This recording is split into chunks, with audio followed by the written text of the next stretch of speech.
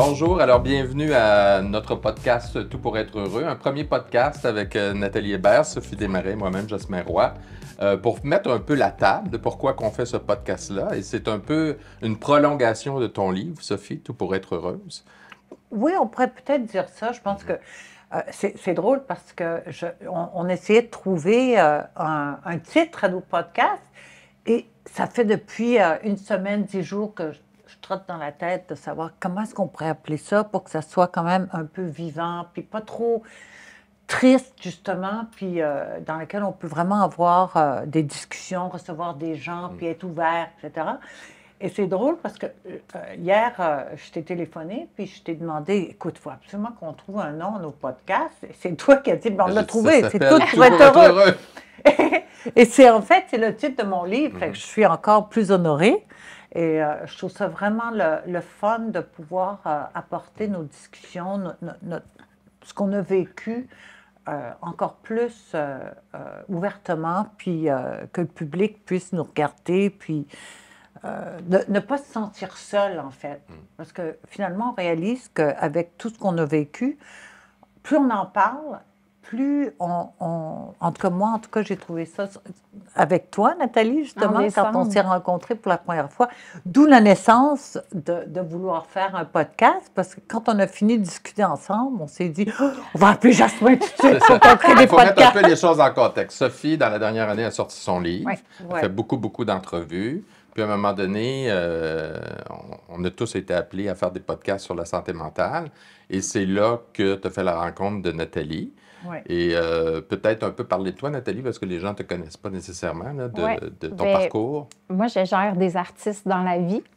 Et euh, j'ai eu un épisode de dépression assez important où euh, tout s'est arrêté pour moi du jour au lendemain, plus capable de lire, plus capable d'écrire. ma famille m'a retiré mon permis de conduire. Je ne ah parlais plus.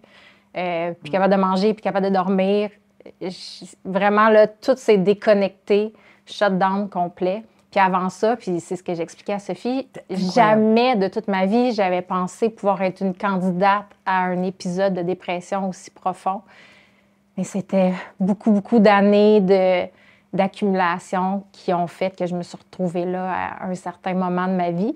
Fait que j'ai été invitée, comme Sophie, à participer au podcast. Puis c'est là qu'on s'est rencontrés. Puis on s'est rendu compte que même si on vient de deux milieux totalement différents, il y avait beaucoup de choses sur lesquelles on connectait, qu'on avait vécu chacune à notre façon, mais on se rejoignait mais de façon différente. Euh, et, et, c'est ça, qui est, ça qui est intéressant. Et je trouve que finalement, c'est ça qui peut aussi aider les gens autour de nous. Euh, c'est, on peut tous vivre exactement la même chose, d'être dans des milieux, être de, de, milieux sociaux euh, complètement différents, mais le, le, le, le feeling, là, les sentiments sont les mêmes.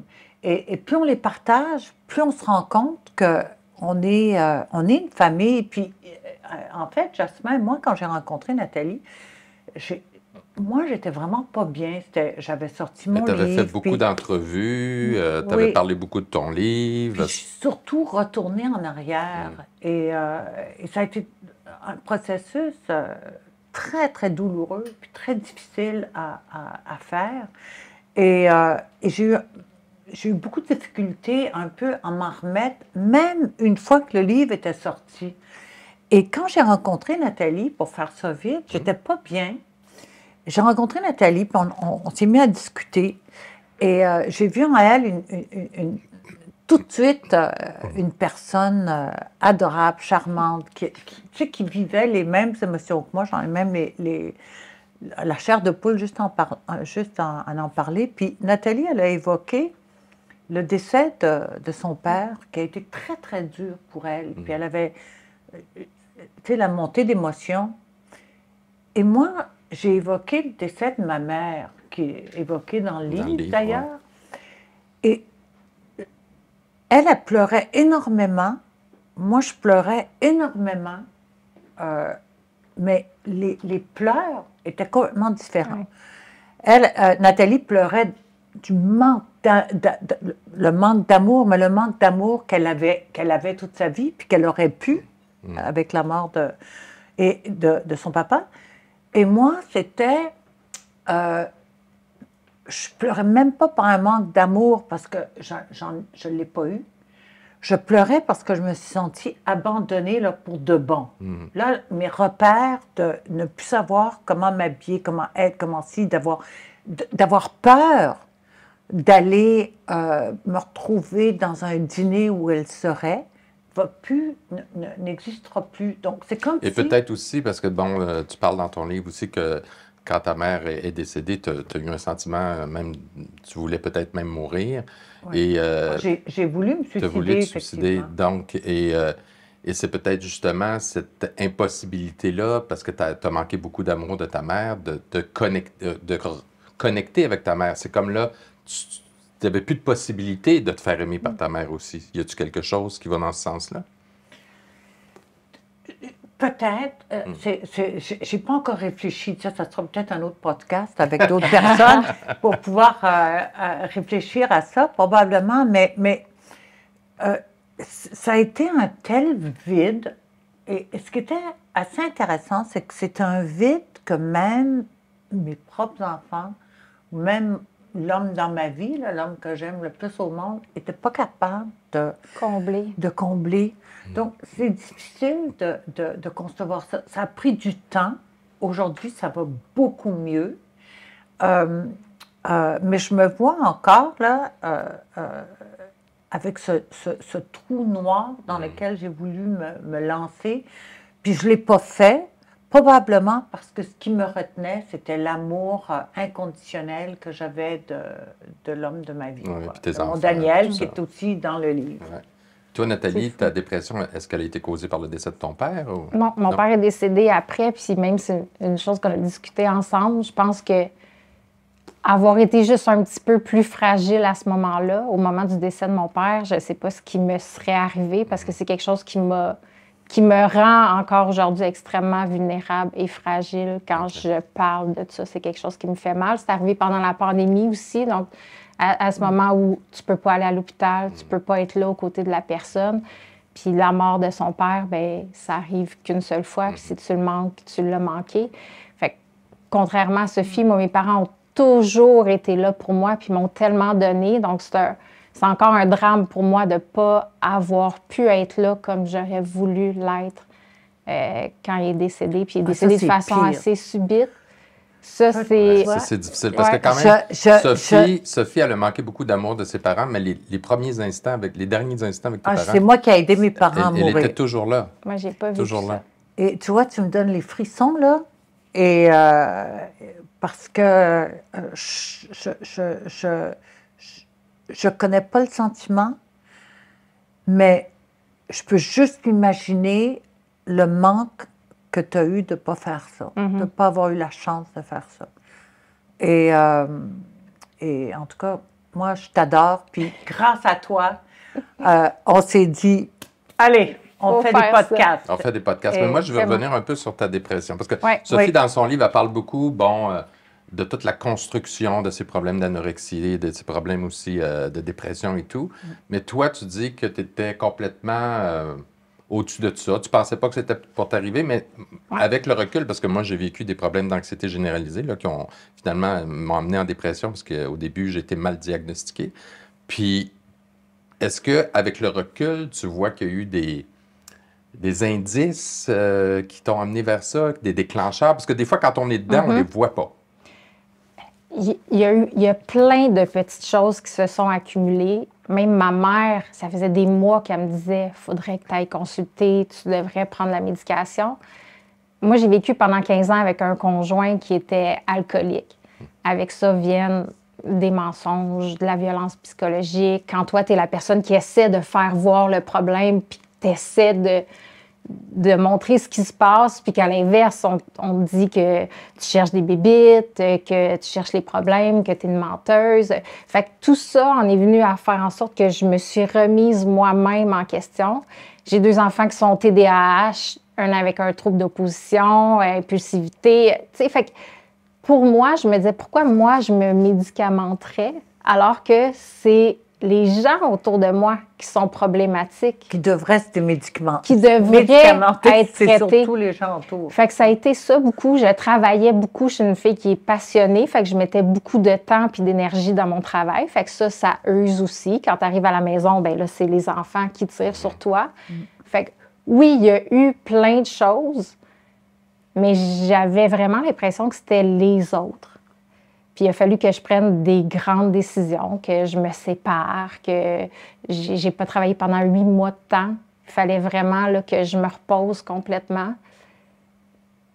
Est-ce que j'étais prête avant? Je ne le sais pas. Tu sais, moi, j'avais ce grand rêve de la famille. Je voulais répéter exactement le même scénario familial que mes parents. Tu avais un beau modèle. Ah. Oui, j'avais un modèle extraordinaire. C'était tellement important pour moi d'avoir ma famille unie que j'ai toléré des choses beaucoup trop longtemps. Je me suis oubliée d'une certaine façon.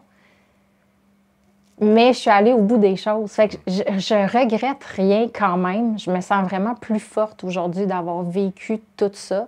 Je préfère nettement que ma dépression soit derrière moi que devant moi. Mm. Je pense que maintenant, je suis beaucoup plus à l'affût aussi. Mais c'est quelque chose qui te marque à tout jamais. Est-ce que tu as des moments quand même de, de, te sentir down, down là, à un point où est-ce que tu n'as pas envie de rien faire? Est-ce que tu te sens plus fragile par moment? Oui. Pas en lien avec ma dépression. La mort de mon père, ça m'a pris vraiment une année. Comme ça, c'est un deuil normal. Oui, c'est ça, le tour de roue complet. Mais sinon, j'ai fait tellement de transformations dans ma vie que je suis plus du tout dans le scénario qui me rendait pas bien. Fait que je me suis libérée de ça, mais il a fallu que j'aille très, très loin pour oser prendre ces décisions-là. Je me demande, en fait, euh, euh Jasmin, je ne sais pas ce que tu en penses, ou, même quand on sent là, euh, euh, qu'on en fait, quand on n'a plus envie de vivre, hein, c'est quand même une dépression mm-hmm. en, soi.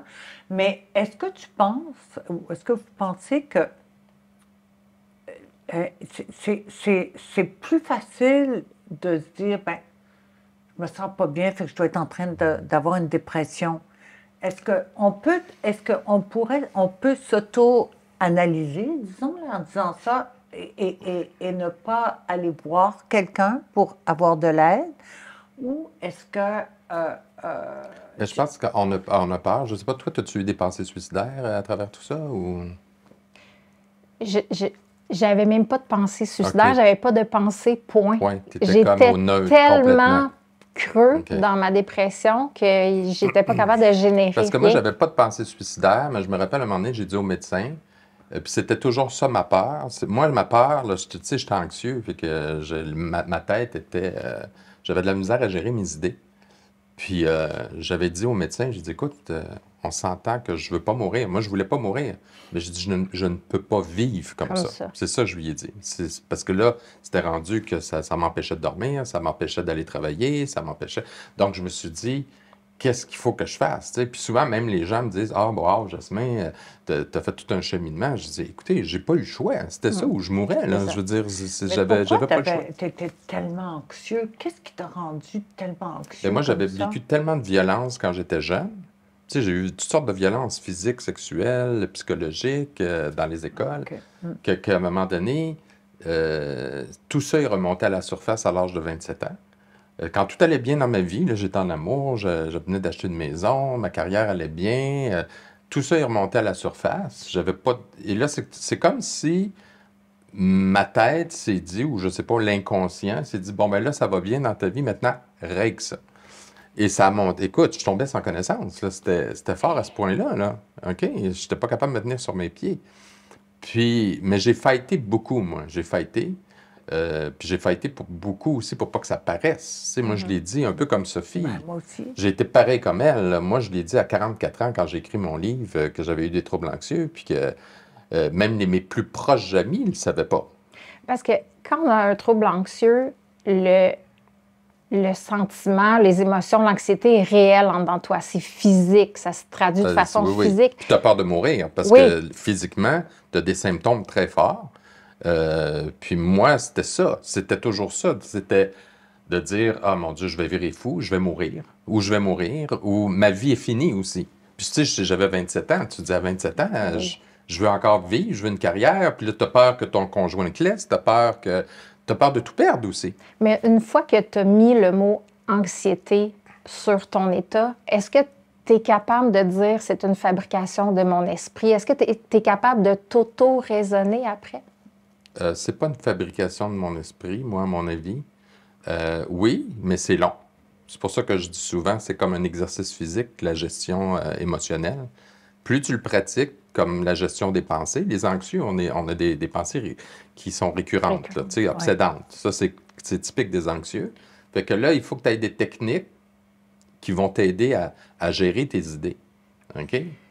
Puis c'est la même chose par rapport à ton hygiène de vie.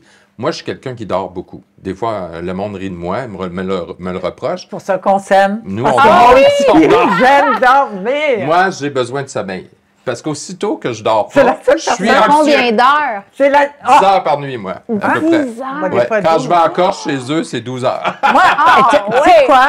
C'est une des seules personnes que j'adore inviter, qui est bienvenue chez nous, parce que c'est la personne à qui, avec qui je pas besoin de me réveiller le matin et dire ah, Bon, qu'est-ce que tu veux pour le petit déjeuner? Moi, je dis Fais tes affaires. Euh, parce que Sophie, elle veut toujours en faire, elle veut toujours qu'on soit bien. Je dis Regarde, juste être là, là, moi, ça me suffit. tu sais que la, première fois, hein, te rappelles-tu, la première fois qu'il est venu euh, euh, en vacances chez, chez nous, en, en Corse, il dormait, il dormait. Moi, je t'ai réveillé, puis tu sais, je l'attendais. C'est elle qui me réveillait.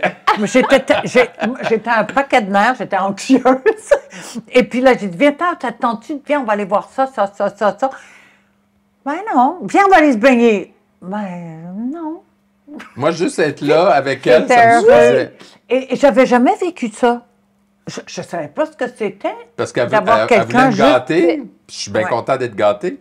Mais moi, je dis, Sophie, juste être là avec toi, ça me suffit tellement. Parce qu'on se voit pas, on se voit, mais on se voit pas si souvent que ça non plus. Fait que quand on se voit, on est bien content de se voir. Puis quand on a besoin de dormir autant, tu te couches plus tôt ou tu te lèves tard? Je me lève plus Parce tard. Parce que quand on travaille, c'est difficile moi, quand même. Moi aussi, pareil. Moi, je me lève plus tard.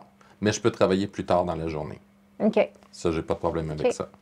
Je, je suis quelqu'un qui aime dormir puis qui privilégie beaucoup le sommeil. Euh, puis aussi, j'essaie de ne pas me déstabiliser. Euh, parce que euh, moi, ça va très bien, mais je suis quand même plus sensible que la majorité des gens. Mais j'ai beaucoup, écoute, j'ai changé. Moi, ma vie a changé complètement. Mais ça m'a pris cinq ans de psychanalyse. Tu sais, c'était long, là. Très, très long. Est-ce que tu crois, moi, on, m'a toujours envoyé voir des psychologues, des choses comme ça, mais pas pour des raisons d'anxiété ou de dépression. Mm-hmm. C'était parce que, ah, après mon premier divorce, comme je euh, j'avais pas le droit de me divorcer puis que ça se faisait pas dans mon, milieu, il fallait que j'aille voir un psychologue. Parce que, soi-disant, j'étais pas tout à fait normale parce que je me divorçais. Alors, qu'est-ce que tu veux que je dise à, un psychologue? Déjà, j'étais pas bien avec moi-même. Euh, euh, je me fait que moi, j'ai passé mes années à voir des psychologues pour, leur, pour leur dire quoi? Mais pourquoi est-ce que quelqu'un se divorce? Parce que finalement, on n'est pas très bien. Puis, euh, en tout cas, il faut lire mon livre pour en savoir plus. Euh, mais euh, ma question serait, moi, en fait, j'ai jamais été voir un, psychologue pour les vraies raisons. Ah, hum. ça, c'est très important ce que tu dis là. Oui. Parce que la psychothérapie ou la thérapie, comme Nathalie, quand elle ne voyait pas son problème, ça servira à rien. C'est comme un alcoolique qui dit ben moi j'ai pas de problème. Tant qu'il réalise pas qu'il y a un problème puis qu'il veut le régler aussi. Parce que quand quand tu vas en thérapie il faut arrêter de penser que c'est la personne en face de toi qui va régler ton problème. C'est toi qu'il faut qu'il te responsabilise.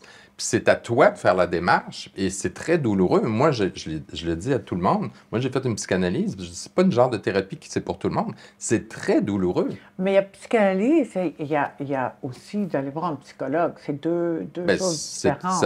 Euh, il y a des psychanalystes qui sont psychologues. Mais il y a toutes sortes de, il y a toutes sortes de, de psychothérapie hum. maintenant. Mais euh, il faut que ça tente de changer. Il faut que ça tente de, changer ta façon de vivre comme elle, elle a fait.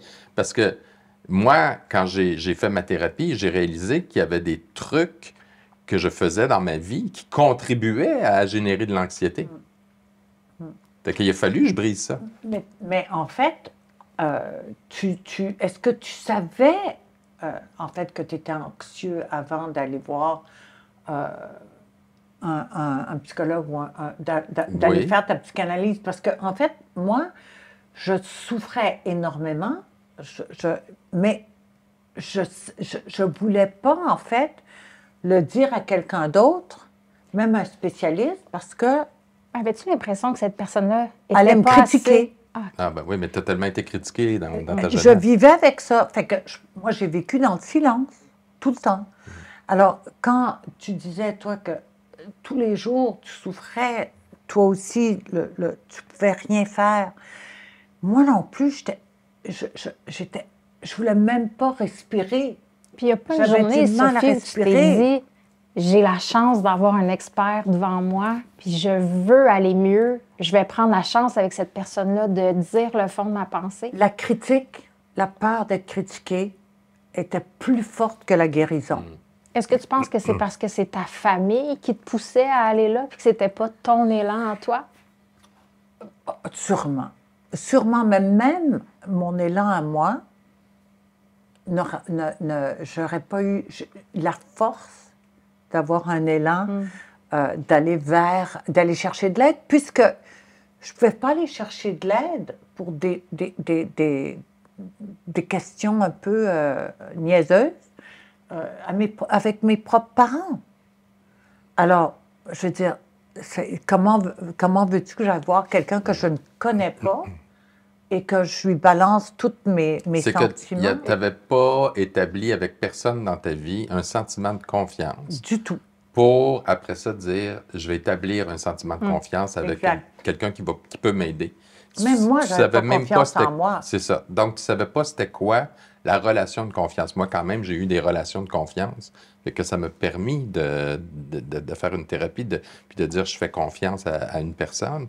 Puis encore là, même là, des fois, tu doutes. Euh, que, parce que dans, dans, ton cheminement, des fois, ça va bien. C'est ça, je dis au monde. Je dis, quand tu as un diagnostic comme ça, euh, j'ai un ami qui a eu ça aussi dernièrement. Puis je dis, à un moment donné, tu vas voir, ça va mieux. Puis là, tout d'un coup, bang, ça retombe. Mm-hmm.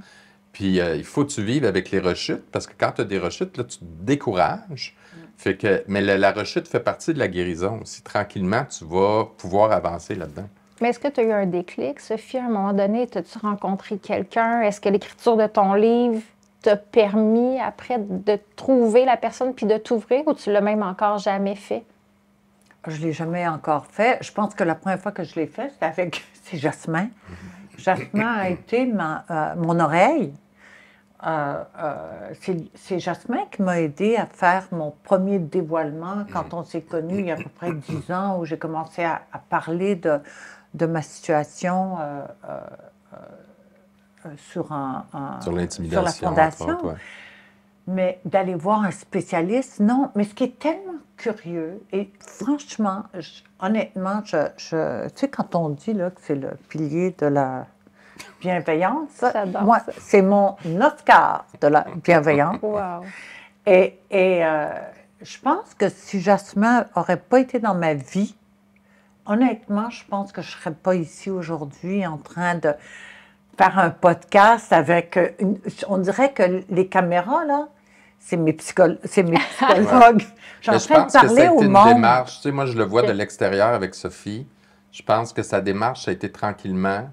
Euh, elle l'a apprivoisée aussi par elle-même. Moi, j'étais là, je l'encourageais aussi je l'encourageais. Tu sais, ton livre, je t'ai encouragé beaucoup. Je pense, je tu as une histoire à raconter, euh, ça va inspirer des gens. Puis je pense que beaucoup de gens qui lui mm. ont écrit pour lui dire, euh, parce que malgré qu'elle elle a vécu dans un monde euh, que peu de gens vivent, je pense que plus, sais, la relation avec des parents, on en a tous eu. Fait qu'on peut tous se retrouver là-dedans. Puis moi, j'ai vu, c'est un processus avec Sophie. Puis moi, je la vois grandir aussi. Je l'ai vu grandir. Parce qu'au départ, tu n'étais pas sûr. Ah, je vais-tu le faire, je vais-tu pas le faire. Euh, juste avec le premier témoignage qu'elle a fait avec la Fondation. Mais juste de venir à, s'impliquer publiquement avec la Fondation, mm-hmm. c'est une, grosse, un, gros pas pour elle. Oui, oui, oui. Et c'est marrant parce que pendant ce témoignage-là, je pleure et j'ai demandé justement à la personne de ne pas couper la partie où je, je, je, pleure, où la, sensibilité est très forte. Même euh, Jasmin pleurait, le caméraman pleurait aussi. Je ne voulais pas que ça soit coupé parce que c'était mon moment, justement, pour pouvoir annoncer euh, aux gens autour de moi un peu de réalité. Mais ce qui était incroyable, c'est que même avec cette réalité, ma mère, elle ne comprenait pas pourquoi j'avais fait ça.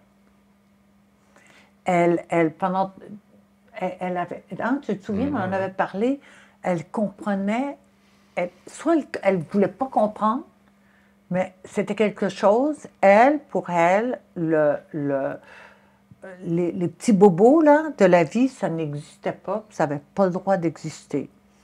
Alors, Est-ce que tu as fait beaucoup de choses, Sophie, pas contre, mais un peu oui, contre les mœurs ou les façons de faire de ta famille ou de ton milieu. Tu as défié quand même beaucoup tes parents. Tu as dit tantôt que tu t'es divorcé alors que ça se fait pas. As-tu l'impression d'être le mouton noir ah ben, de ta famille? Alors, écoute, c'est une bonne question parce que sûrement le mouton noir, et, et je crois et je ressens par moments euh, euh, que je suis encore le mouton noir dans la famille.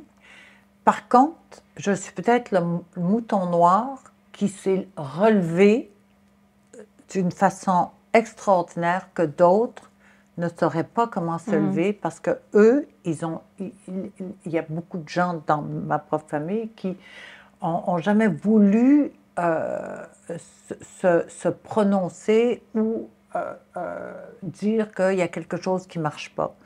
Parce que moi, ça n'existe pas une famille là, où tout est beau, tout est parfait, tout est parce que tu as des, des, des, des, diamants autour de toi ou des, des sacs Hermès autour de toi. là. C'est pas ça qui te rend heureuse, OK, ou heureux. Alors, selon moi, le mouton noir, oui, mais le problème, c'est que quand tu dis défier mes parents, euh, les divorces, c'était aussi parce que j'étais forcée à me marier aussi. Hein. Hum. Euh, je n'étais pas forcée, mais je me suis sentie forcée. Euh, et je me suis sentie obligée, pas nécessairement venant de mes parents, mais venant de moi-même, parce qu'il fallait que je sorte de mon cocon familial. Il fallait que j'essaye d'être indépendante. Donc, euh, l'homme qui est rentré dans ma vie à ce moment-là, qui est le père de, mon fils, était parfait pour ça. Alors, euh, mais un moment mm. donné, il manque quand même pas mal de, de, sentiments ah autres que, que, juste le, vouloir euh, de, disparaître de ton milieu familial. Donc, je suis toujours allée au bout, par contre, de, mes, euh, de mon raisonnement. Comme toi, quand je, quand je me suis divorcée, je savais qu'il fallait que je le mm. fasse. Je suis allée au bout. Mais j'en ai souffert énormément après. Et, et, et, je pense aussi que je me suis divorcée une deuxième fois, mais la deuxième fois, je suis allée euh, à l'hôpital parce que je me suis rendue tellement malade avec l'anorexie que euh, je voulais mourir. Je voulais mourir parce que j'avais tellement peur d'annoncer un deuxième divorce. Donc, mouton noir, oui, mais un mouton noir qui était vraiment triste mmh. et mal dans sa peau, tu sais. Et, euh, euh, et, et, je veux dire, imagine que tu as un médecin qui appelle ton père pour dire euh, euh, Monsieur Desmarais, ça serait peut-être bien que vous veniez voir votre fille parce que c'est simple, elle va mourir, elle va se laisser mourir. Puis il ne savait pas pourquoi. Pour une simple raison. J'avais peur de, de, de, de les déplaire encore, plus que je pensais que je les déplaisais tout parce que je voulais me divorcer. Et je m'en rappelle comme si c'était hier, de ce moment-là. Et, je pense que le fait de se souvenir de chaque étape, mm. comme le livre, de chaque étape, je m'en souviens, c'est vraiment peut-être pour ça que j'ai eu beaucoup de problèmes après de le digérer, mais c'est tellement encore là et encore présent. Et, et ce qui est extraordinaire, c'est qu'en faisant ce qu'on est en train de faire, on rencontre des gens qui souffrent de la même façon, de, dans des milieux peut-être différents. Mais moi, là, je me suis jamais sentie autant aimée que d'être en présence de gens hmm. comme vous autres. On peut terminer le podcast. Bon Dieu, tu vas tout nous faire pleurer. Mais, merci, Sophie. C'est vrai. C'est vrai. Donc, vive les podcasts! Vive les podcasts! Alors, c'est un peu ça hein, qu'on veut faire avec les podcasts, c'est de, de, pouvoir se parler entre nous, euh, entre amis. C'est fou, hein? Et de dire que c'est possible. Puis de dire aussi que euh, on peut élargir nos familles, puis on peut avoir mm-hmm. souffert, puis on souffre même encore des fois, mais ben oui. on est, plus on se soutient entre nous, mais plus on est résilient. tu sais ce qui serait intéressant aussi? ça serait de pouvoir faire des podcasts aussi, euh, une fois de temps en temps, après avoir reçu nos invités, mm. pour pouvoir peut-être faire la réflexion justement sur euh, qu'est-ce qu'on, comment est-ce qu'on pense de la résilience, euh, qu'est-ce qu'on a appris de la résilience, ou un truc comme ça. Puis on peut plaire encore plus.